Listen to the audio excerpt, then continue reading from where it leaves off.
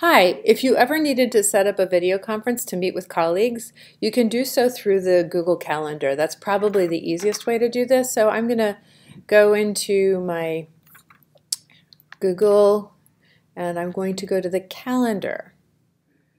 And let's say I want to set up a new appointment for next Tuesday. I'm going to add an appointment and I'm going to say conference meeting. And I can let's say I'm going to make it from 11 to 11:45 I'm going to invite NCHS library. And I'm going to add a location or conferencing so I'm going to add a conference. And now I've created a little specialized appointment there and I'm going to save it.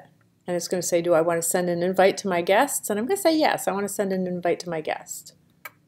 Okay, good. Now I'm going to go to that other profile to show what it looks like on their end. So I'm going to go to NCHS Library.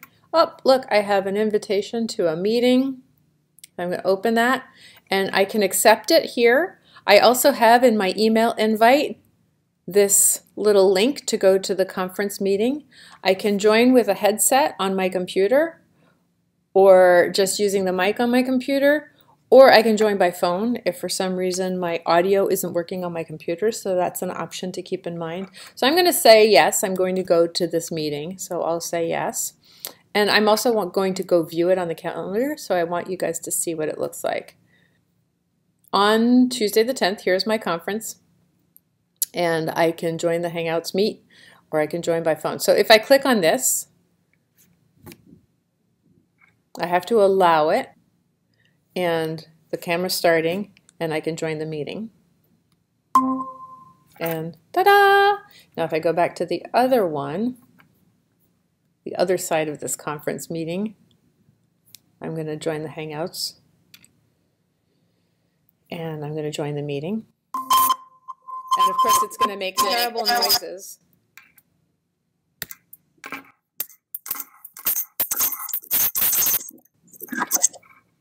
So the reason it did that is because I'm in the same room on the same computer and it's making creating an echo. Um, that won't happen in your situation unless you're sitting in the same room with the people you're conferring with. Um, but it is a good example of why it is best to use headphones and with a mic built in and just regular old earbuds that can plug into your computer are perfect for that. Um, I do find that it um, preserves the best, it creates the best sound quality experience you can have um, because otherwise you can run into echo problems. Another option or something you can keep in mind is when you're not talking during a conference is you can actually mute your microphone and then turn it back on when you're speaking. So that's helpful. Also, if you're not comfortable being on camera, you don't have to be.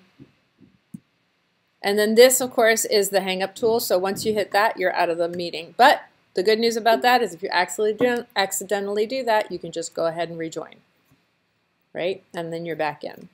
So hopefully that helps uh, give you some ideas about how to use video conferencing if you needed to meet with another colleague.